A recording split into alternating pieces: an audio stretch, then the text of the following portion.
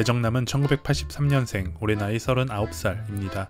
그는 부산에서 태어났으며 어렸을 적 부모님의 이혼으로 외할머니와 친척들 손에서 자랐습니다. 배정남은 생계를 위해 부산 공업고등학교를 들어갔고 그의 첫 직장은 자동차 부품 공장이었는데 당시 배정남의 시급은 겨우 2,050원이었습니다.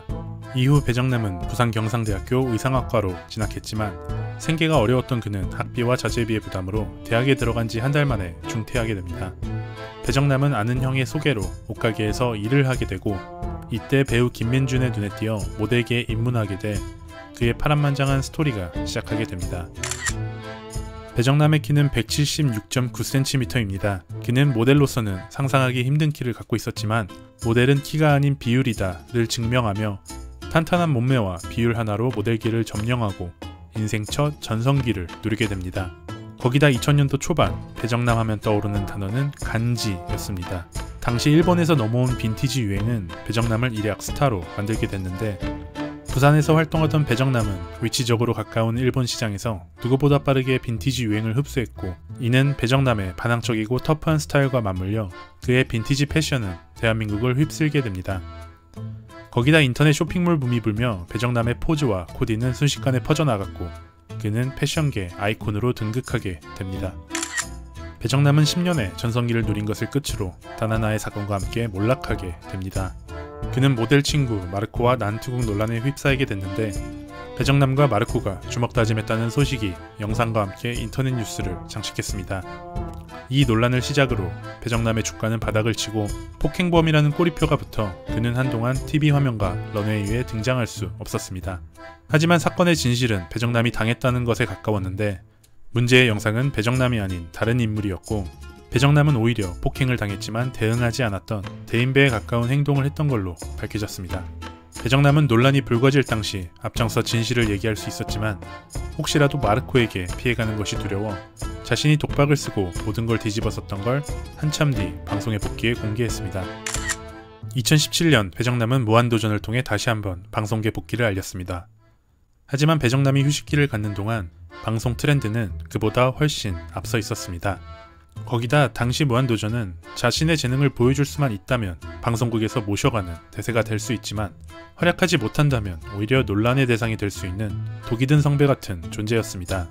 배정남은 무도에서 별다른 활약하지 못한 채 예능 병풍남이 될 뻔했었으나 같은 시기에 출연한 라디오스타에서 내뱉은 단 한마디 Sure Why Not을 자신의 유행어로 만들어버리며 그는 무한도전에서도 자신감을 찾았을 뿐더러 대한민국 예능 블루칩으로 급부상하게 됩니다.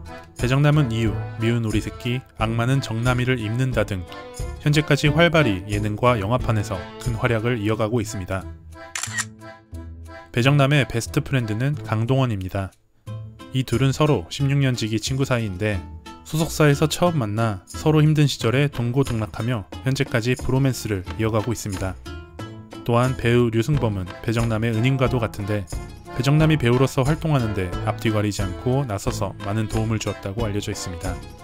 이 밖에 배정남은 강동원과 함께 모델 김우빈과 자주 만나는 편이며 전 국가대표 축구선수 안정원과도 각별한 친분을 자랑합니다. 배정남의 이상형은 어릴 땐 이쁘고 옷 잘 입는 여자였지만 그는 30대 중반을 넘어가며 세련되고 센스있고 현명하고 생각이 건강하고 요리 잘하고 여행 좋아하고 취미 잘 맞는 여자로 이상형이 바뀌었다고 합니다. 하지만 외형적으로는 골반이 큰 여자가 좋다고 하는데 배정남은 뉴욕 길거리에서 이상형에 가까운 골반 큰 여자를 만나 전자사전을 켜서 대화했었던 적이 있었다고 밝히기도 했습니다. 배정남은 반려견인 벨을 자신의 딸처럼 여기며 생활하고 있습니다. 벨의 품종인 도베르만은 용맹하고 스마트한 종으로 알려져 있는데 배정남의 시선 강탈 카리스마 앞에서 벨은 순하고 얌전한 멍멍이 같은 느낌이 들기도 합니다. 배정남은 방송에서 자신이 소장한 NBA 카드를 공개했는데 상당히 수준 높은 컬렉션들을 보여주면서 NBA 팬들의 마음을 설레게 했습니다. 특히 그가 주력으로 소장하고 있는 코비 브라이언트 컬렉션은 코비의 안타까운 사망으로 인해 가격이 수직 상승했고 배정남은 자신이 산 가격의 100배 이상의 가치가 됐다고 말하기도 했습니다. 그가 소장한 NBA 카드의 가치는 총 1000만원 정도로 알려져 있는데 시간이 된다면 미국의 소문난 대머리한테 찾아가 가격을 검증받는 장면을 남겨보면 어떨지 조심히 추천해 드려봅니다. 오늘은 이렇게 원조 패션의 아이콘 배정남에 대해 알아보았습니다. 구독과 함께 알고 싶은 인물 댓글 통해 남겨주세요. 시청해주셔서 감사합니다.